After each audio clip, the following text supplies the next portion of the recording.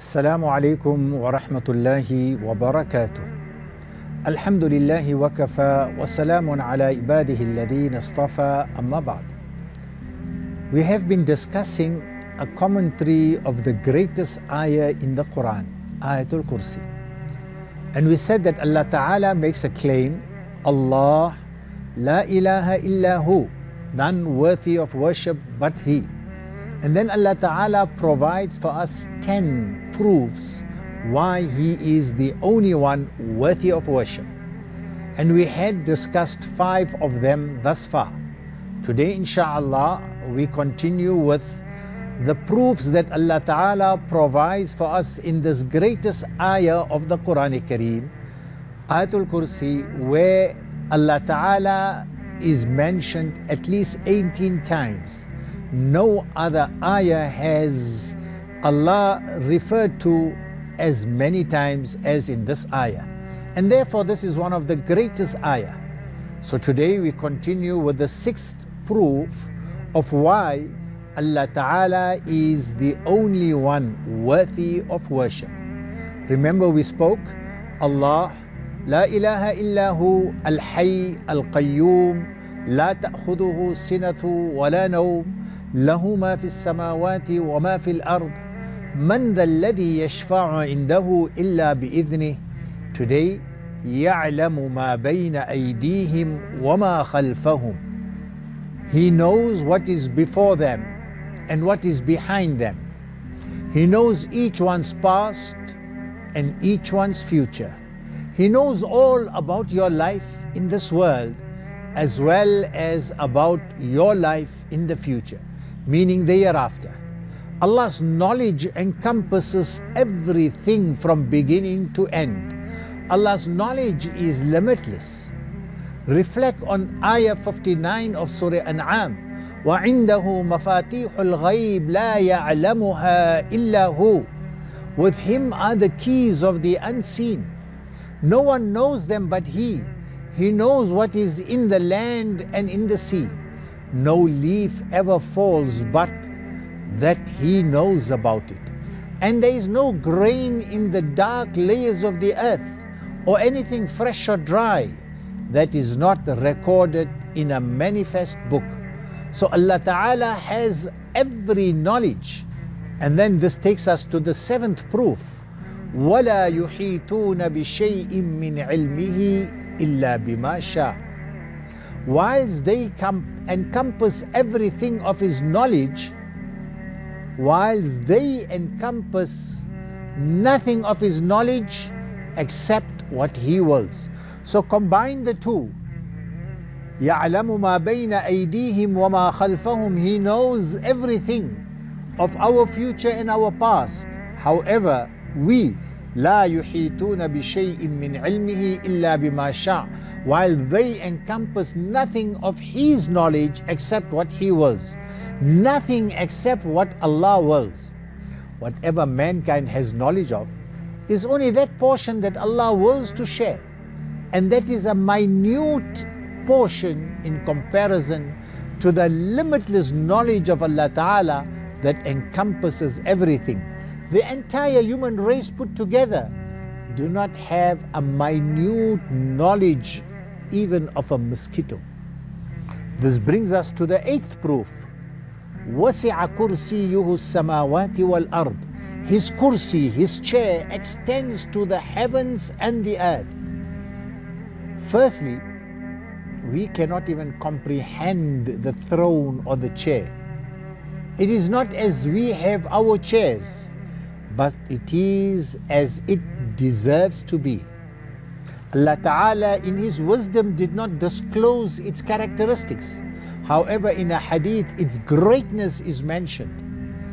The Arsh and the Kursi are two separate entities. The Arsh is mentioned 11 times, and the Kursi is mentioned only in this ayah, Ayatul Kursi. Hence, the ayah gains its name from this mention of the Kursi.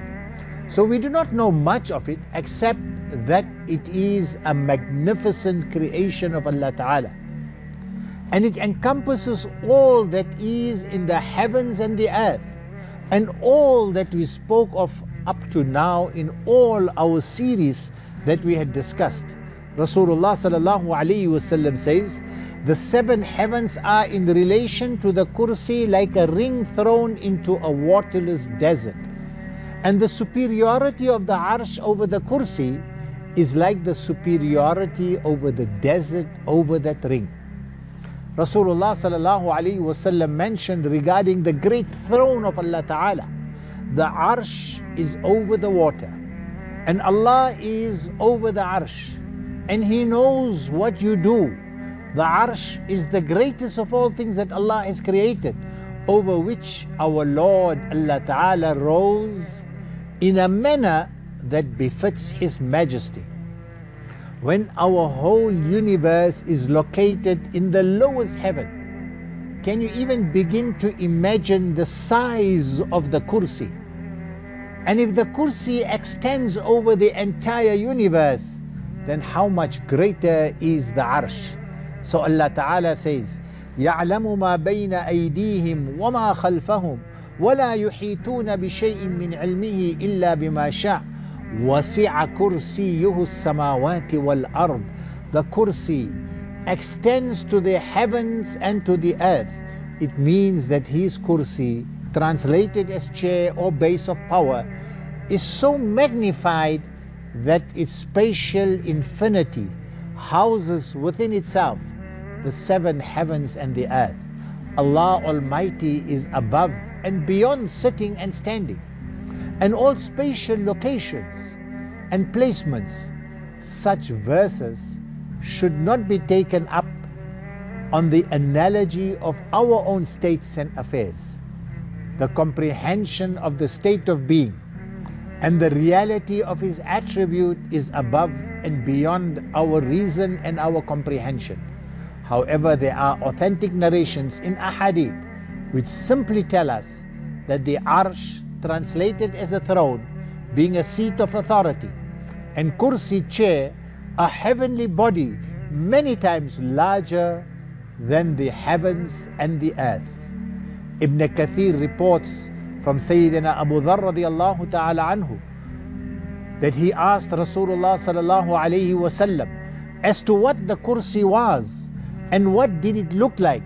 He said, By Allah, who is the master of my life, the seven earths and the heavens, as compared with the kursi, are like a small circle of a finger ring lying on a huge plain. In another narration, it has been stated that the kursi, as compared to the arsh, is also like a circle of a finger ring on a huge plain. Rasulullah sallallahu alayhi wasallam said, just to get an understanding of the kursi. Inshallah, I think we'll rather keep this discussion of Rasulullah regarding the kursi and the angels that carry the arsh for our next discussion. But for today, we conclude that the sixth, seventh, and the eighth proof of Allah, of Allah Ta'ala being the only one worthy of worship يعلم ما بين أيديهم وما خلفهم His knowledge encompasses the past and the future يعلم ما بين أيديهم وما خلفهم ولا يحيطون بشيء من علمه إلا بما شاء You and I cannot have any knowledge Our knowledge is minute in comparison to the over encompassing knowledge of Allah Ta'ala Allah Ta'ala has only given us a small bit of His knowledge يعلم ما بين ايديهم وما خلفهم ولا يحيطون بشيء من علمه الا بما شاء وسع كرسيه السماوات والارض his chair his authority expands through the heavens and the earth inshallah we will continue with our next discussion may allah ta'ala provide us the ability through these discourses to have an understanding of the greatness and the might of allah ta'ala والسلام عليكم ورحمه الله وبركاته